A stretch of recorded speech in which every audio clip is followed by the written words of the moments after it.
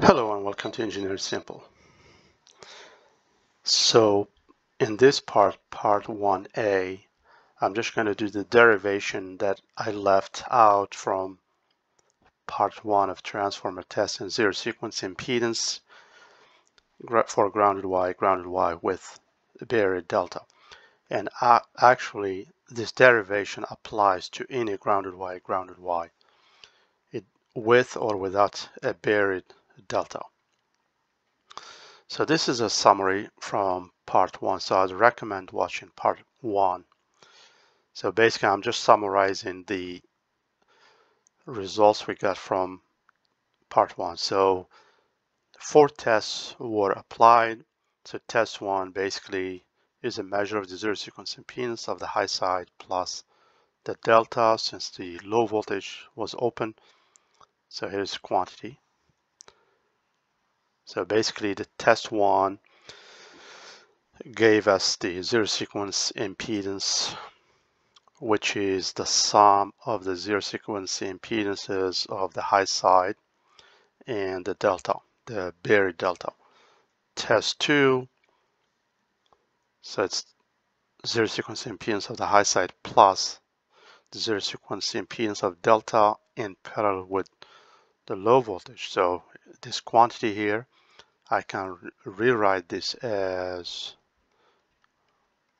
plus from circuit analysis if you have two impedances in parallel basically their equivalent is just the product of the two impedances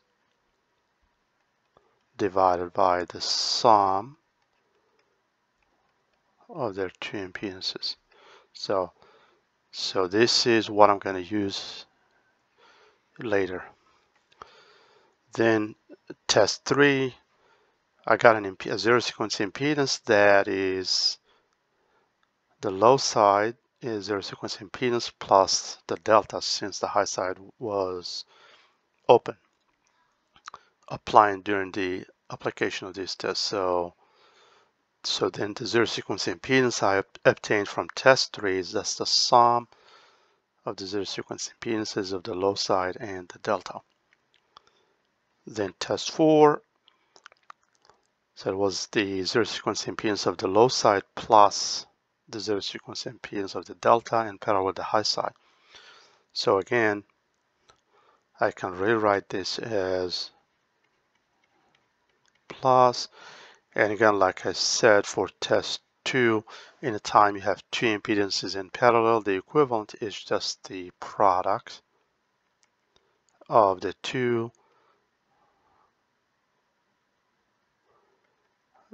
divided by their sum.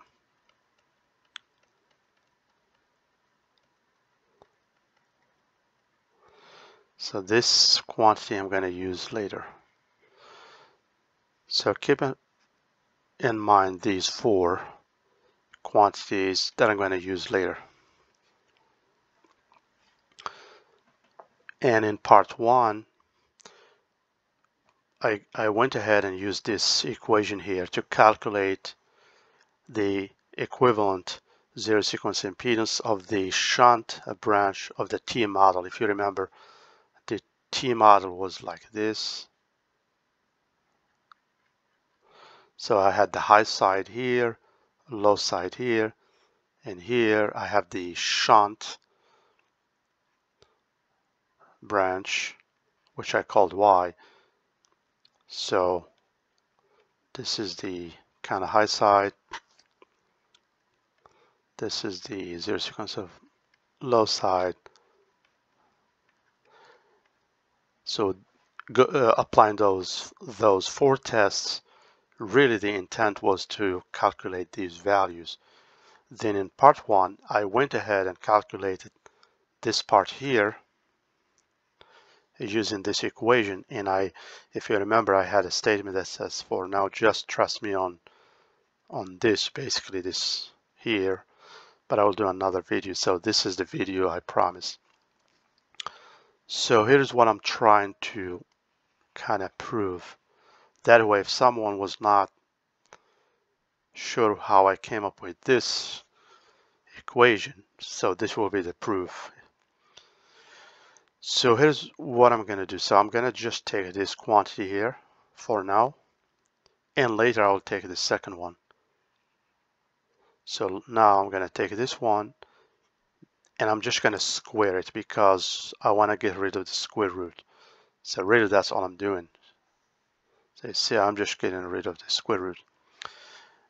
Then from the previous slide, I'm going to, instead of the zero sequence impedance obtained in each test, during each test, I'm going to plug in the equivalent, you know, basically these quantities here, the ones I kind of circle.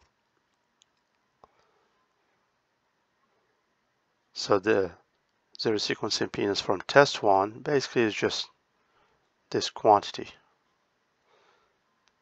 From test three, it's this, test four is this entire thing, and test one again is just this.